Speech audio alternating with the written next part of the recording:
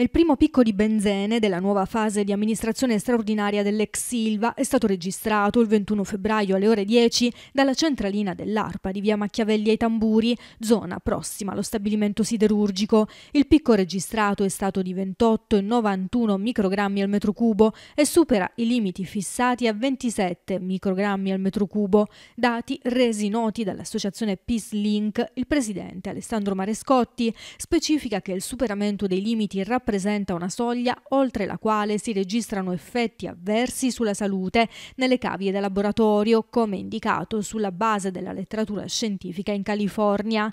Questo evento sottolinea Peace Link, che evidenzia anche la grave incongruenza, è avvenuto per la prima volta sotto la gestione dello stabilimento da parte dello Stato. Poi spiega il benzene è un composto chimico noto per la sua pericolosità per la salute umana, classificato come cancerogeno certo sia dalla letteratura letteratura scientifica che dall'Agenzia internazionale per la ricerca sul cancro dell'Organizzazione Mondiale della Sanità.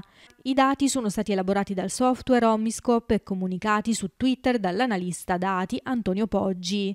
PeaceLink li riprende sollevando gravi preoccupazioni per la salute pubblica e sottolineando l'urgente necessità di misure preventive e correttive per proteggere la popolazione locale dagli effetti nocivi dell'inquinamento atmosferico.